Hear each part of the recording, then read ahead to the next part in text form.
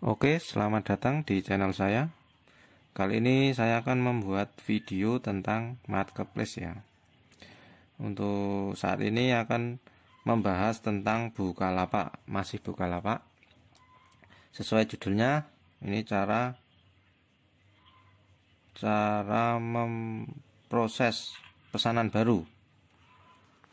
Pesanan baru yang sudah masuk ya ini. Ini kebetulan ada pesanan baru cuma satu ya ini. Cuma satu. Tapi nggak apa-apa. Yang penting laku ya. Ini kita tampilan pertama ya ini. Kita buka-buka lapak ya. Buka lapak ini satu. Cuma eh, laku satu ya nggak apa-apa ini. Untuk pemula mungkin bisa cek aja di video ini ya. Tapi untuk yang sudah bisa ya mungkin hmm, cuma buat berbagi aja ya berbagi. Cara berbagi. Oke. Ini tampilan pertama. Di sini Bukalapak ada tulisan buku penjualan aktif ya ini. Nah, di atas itu nanti ada uh, lonceng ya lonceng itu. Nah, ada sama uh, chat ya chat kita balas dulu chatnya. Uh, kita tulis saja ini baik segera kami proses kak. Ini kiriman baru ya dari rekan-rekan yang mungkin baru memulai jualan di Bukalapak. Ini untuk e, cara proses pesanan baru ya pesanan baru yang sudah masuk. Kebetulan ini saya sebagai dropship ya ini dropship. Jadi saya cuma menampilkan gambar ya menampilkan gambar. Terus untuk proses kiriman nanti udah di hmm, udah ditanggung maksudnya udah di packing ya udah di packing sama yang uh, punya produk ya uh, distributor istilahnya distributor. Kalau saya istilahnya cuma marketing atau mungkin kayak dropship ya. Jadi dropship itu hanya menampilkan gambar sama untuk apa itu? Untuk uh, hasilnya itu istilahnya badik apa ya? Tadi untung untungnya untungnya. Oke ini langsung diproses saja ya ini. Ingin memproses pesanan ini. Langsung pesanan nah, terus ini kebetulan pakai uh, apa ini? Pakai kurir wahana ya. Kurir wahana itu tidak ada resi otomatis. Jadi kita uh, manual ya manual. Jadi biaya kirim itu kita tanggung dulu biaya kirimnya untuk di wahana. Kalau beda dengan si cepat sama CNT itu udah ada resi otomatis. Jadi kita tinggal ngirim aja nggak usah bayar di ekspedisinya. Kalau wahana kebetulan nggak ada yaitu resi otomatis. Jadi manual. Jadi kita kirim ke wahana. Nanti kita minta resinya. Nah, nanti resinya dimasukkan manual.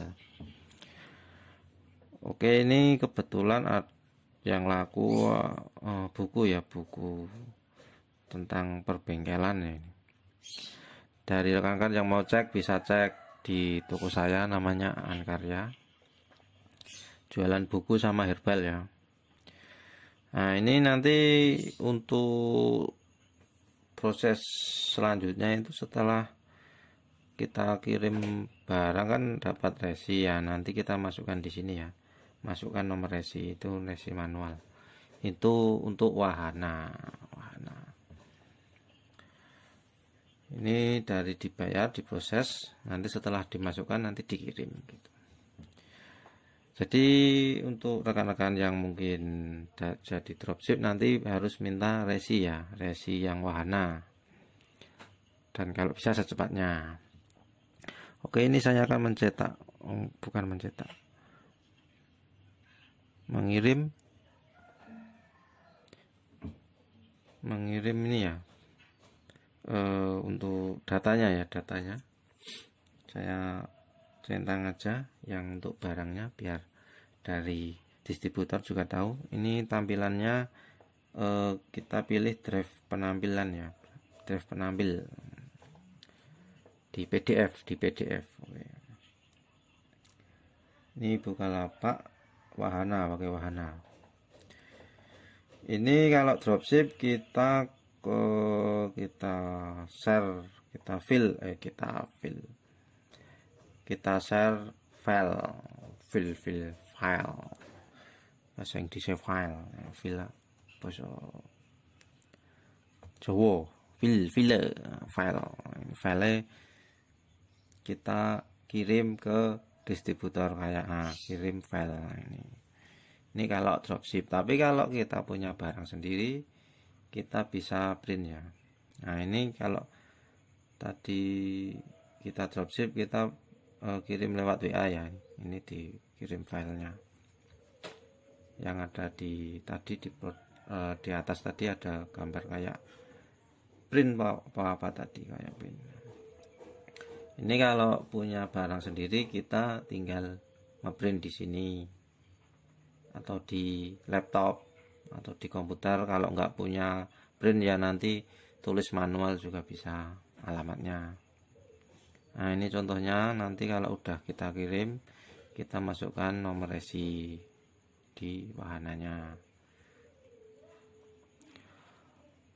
Oke itu aja cara proses kiriman terbaru di Bukalapak karena setiap aplikasi Bukalapak eh, yang nggak cuma Bukalapak biasanya selalu update ya. Oke itu aja. Jangan lupa subscribe like comment and share. Terima kasih. Kita saling berbagi ilmu